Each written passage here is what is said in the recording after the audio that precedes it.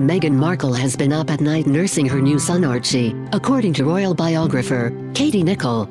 The Duchess of Sussex has been feeding on demand, meaning she's up at night, to tend to the newborn. There aren't reports as to whether Prince Harry has been up with the new mother.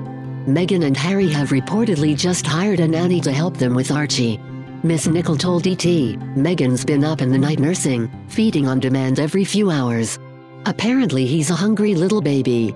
She also revealed the royals' new nanny had to sign an extensive, non-disclosure agreement. Miss Nicholl said, I've heard from very reliable sources that the new nanny who has been appointed by the Sussexes has had to sign quite an extensive non-disclosure agreement. The Duke and Duchess of Sussex are keen to keep their privacy especially surrounding the birth of Archie. While Meghan's birthing plan was speculated, it wasn't reported until much later. Meghan made her first post-birth appearance last Saturday at the Queen's state birthing. She shared a carriage with Harry, Kate and Camilla at Trooping the Colour before later joining them on the balcony. Eagle-eyed royal fans spotted Meghan's new piece of jewelry, an eternity ring, Fans believe the new ring could be present from Harry following the birth of Archie.